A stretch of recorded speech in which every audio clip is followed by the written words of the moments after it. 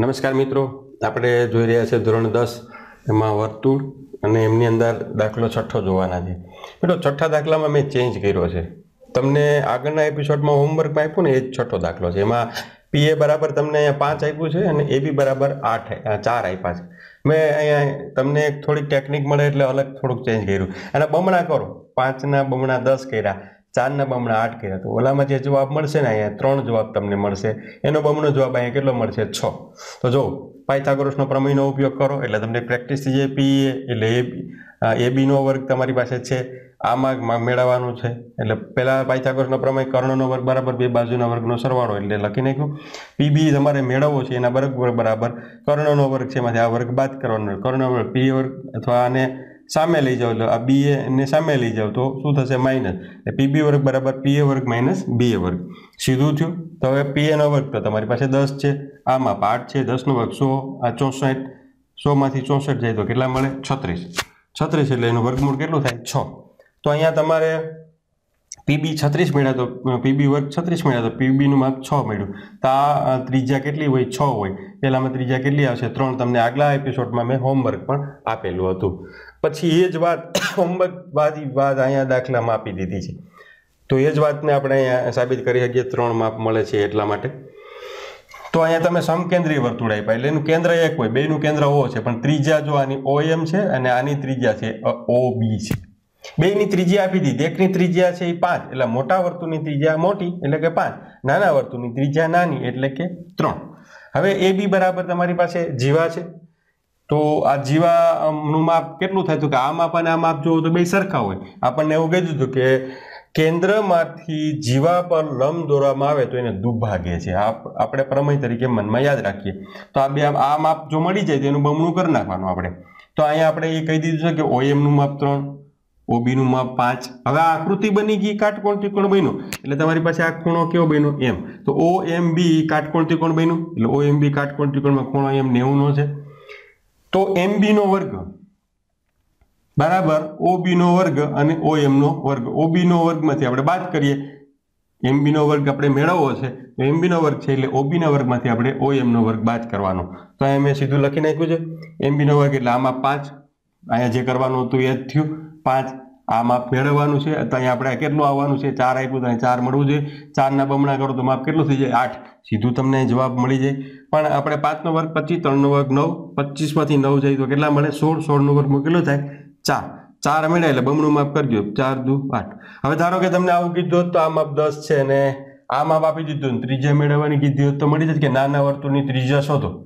આમાં ત્રણ રીતે દાખલા પૂછાય. એ બીનું માપ પણ પૂછાય, આ માપ પણ પૂછાય, જીવાનું માપ પણ પૂછાય, મોટા વર્તુળની ત્રિજ્યા પણ પૂછાય. આમાં કોઈ પણ પરિવર્તન કરી શકે. આ માપ દસ હોત.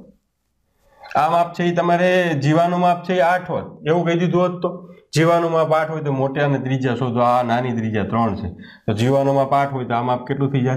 ચાર. તો આવું અલગ અલગ મિત્રો ફેરવીને પૂછે, એકને એક દાખલો છે, ખાલી તમારી સમજમાં ફેરફાર હોવો જોઈએ. તો આને આધારે તમને લગભગ દસ દાખલાઓ સમજાણા હશે.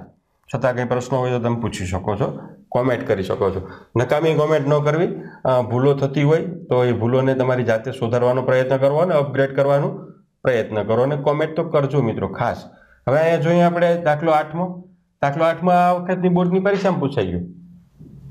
આ બોર્ડની પરીક્ષાની અંદર આ દાખલો પૂછાણો અને એની સાબિતી આપણે ત્યાં એમાં પણ આપી છે. ફરી વખત અહીં આપી દઈએ કે તમને એવું કીધું કે ચતુષ્કોણ છે પરિગત છે. પરિગતનો અર્થ તમને એક તો સમજાવો છે. એટલે કે વર્તુળ છે એને અંદર આવેલું છે. હમણાં જ આપણે પરિવૃતની વ્યાખ્યા લીધી હતી અંતઃવૃતની વાત કરી હતી. તો વર્તુળ છે એ અંદર આવેલું છે. એને ફરતે તમારી પાસે એક એબીસીડી ચતુષ્કોણ છે. હવે તો બતાવો, આવું બતાવવાનું છે. આવું બતાવવું આપણે પ્રમેય મુજબ છે ને એ કહી શકીએ કે ભાઈ જો આ બધા સ્પર્શકો બહારનું બિંદુ, આ એક બિંદુ, આ એક બિંદુ સ્પર્શક દોર્યો, તો આ માપ જેટલું છે એ માપ સરખા થાય કે ન થાય? એટલે પહેલાં કહે ભાઈ એના દોરેલા સ્પર્શકો હોય, એની સમાન લંબાઈના હોય. તો આ એપીનું માપ અને આ માપ સરખા હોય. એટલે આ માપ સરખા કર્યા પછી અહીંયા જો આ સ્પર્શક દોર્યો, તો આ બંને માપ સરખા હોય કે ન હોય? તો એ બે માપ સરખા મળ્યા. અહીંથી લો તમે પી બી અને બી ક્યુ અથવા બી ક્યુ તો લખી નાખ્યા ત્રીજું શું થાય? અહીંથી માપ લ્યો. તો સી ક્યુ અને સી આર એ ત્રીજું માપ લખ્યું છે. સી અહીંથી ડી આર અને ડી એસ એ ચોથું લખ્યું. ચાર સમીકરણ મળ્યા. ચારે સમીકરણો ડાબી ડાબી જનો બાજુનો સરવાળો. જમણી જમણી બાજુનો સરવાળો કરો. ડાબી બાજુમાં કોણ છે? તો કે એપી લખી નાખ્યા. પછી કોણ છે? પીબી લખી નાખ્યા. સીઆર અને ડીઆર સરવાળો ડાબી ડાબી બાજુ કર્યું. હવે જમણી બાજુનો સરવાળો કરો. તો જો જમણી બાજુ. A S B Q C Q અને ડી ડીસી ડીસી લખવાના છે ડીસી સરવાળો થઈ ગયો. હવે અહીંયા તમે શું કરશો? એપી અને પીબી આ બંનેને બાજુ બાજુમાં લખો સીઆર અને ડીઆર ને બાજુ બાજુમાં જોડકું બનાવો. તો જો એપી અને પીબી નો સરવાળો એટલે શું થાય? એબી થાય. એના બરાબર એબી લખ્યા. સીઆર અને ડીઆર એટલે સીઆર જુઓ તમે. સીઆર અને ડીઆર આ બંનેનો સરવાળો જુઓ. તો એ કેટલો થયો? તો એ સીઆર અને ડીઆરનો સરવાળો શું થશે? ડીસી તો ડીસી કરી નાખે એના બરાબર? અહીંયા પણ તમે જોઈ શકો સીઆર અને ડીઆરનો સરવાળો મૂક્યા પછી સામે જો બેના જોડકા બનાવો એએસ અને ડીએસ આમાંથી ગોઠવી લો તમે. એએસ અને ડીએસ અહીંથી તમે આ લીધું હશે. તો પછી બી ક્યુ અને સી ક્યુ બી ક્યુ અને સી ક્યુ ડીએસ અને એએસ તો આ એએસ અને ડીએસ છે. એ તમે અહીંથી એ લીધા હશે. બરાબર છે? અહીંયા કંઈ ભૂલ કરી હોય એવું લાગે. તો એ સુધારી લેજો. તો અહીંયા તમે આના બરાબર શું છે? એડી આના બરાબર શું થશે? બીસી એટલે એનો અર્થ શું થયો? કે આ જે સામસામેની બાજુના માપ છે એ એના જે વર્તુળથી પસાર થતા સ્પર્શકો છે અથવા તો ચતુષ્કોણની સામસામેની બાજુના માપનો સરવાળો સરખો હોય છે એવું આપણે અહીં બતાવવાનું છે. અને આ વખતની બોર્ડની પરીક્ષામાં મિત્રો આ રાઇડર તરીકે પૂછવામાં આવ્યું છે. છે ને છેલ્લું? છેલ્લું પૂછવામાં આવ્યું છે અને આપને આવડી જાય, વધુ દાખલા જોવા માટે અમારી યુટ્યુબ ચેનલ ઉપર જાઓ, ત્યાં બલદેવ પરી લખીને સ્ટાન્ડર્ડ ટેન મેથ્સ લખશો, તો તમને અહીં આપ્યું છે અને સર્ચ પટ્ટીમાં આપ્યું, તરત મળી જાય. ગમે તો લાઇક કરી મિત્રો સુધી શેર કરો સબસ્ક્રાઈબ કરો અને બે લાઇકનને ટીક કરો, જેથી અમારા જે કંઈ નવા અપડેટ છે સીધા મળતા રહીએ ખાસ કોમેન્ટ કરવાનું ભૂલતા નહીં.